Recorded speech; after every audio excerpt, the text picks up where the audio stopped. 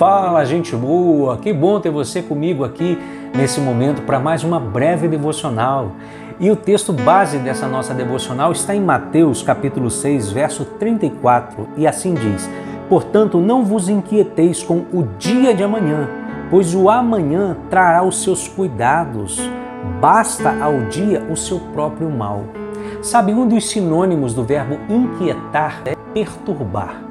E perturbar, por sua vez, significa desassossegar, abalar, transformar, dentre outros significados aí propostos pelos dicionários de língua portuguesa.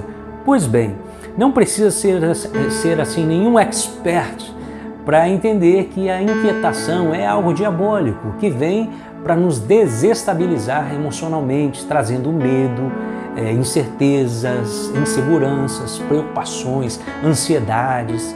Essas reações que são desencadeadas por pensamentos lançados pelo inferno e acolhidos muitas vezes no nosso interior.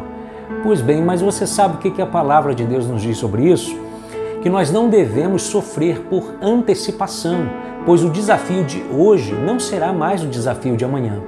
Enquanto que no dia seguinte haverá outras situações que precisarão ser resolvidas por nós e que nós não podemos prever hoje, entende?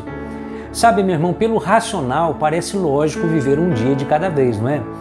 Mas como é que a gente pode controlar esse turbilhão de pensamentos que trazem tantas dúvidas sobre o futuro na vida da gente? Sabe, a resposta é simples: confiando que Deus, o Criador do universo, aquele que tem todo o poder, o poder de transformar tudo, Ele está cuidando de você nos mínimos detalhes. A inquietação gerada pela incerteza de como será o amanhã não é capaz de mudar um minuto sequer naquilo que está por vir, mas a crença de que o amor de Deus ele é suficiente para nos suprir e resolver o que precisamos, aí sim muda tudo.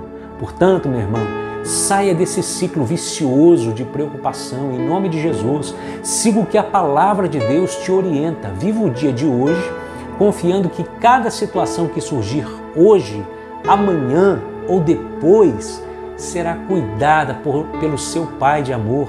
E por mais que as coisas que aconteçam ao seu redor, elas tentem te desestabilizar, você pode confiar no Senhor, porque Ele tem um domínio sobre todas as situações. Por isso, meu irmão, rejeite toda inquietação na mente, todo pensamento que te traz ansiedade ou medo e coloque toda a sua confiança nele.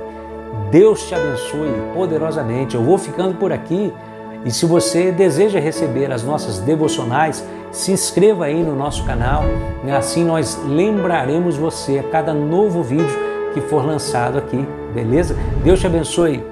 Tchau.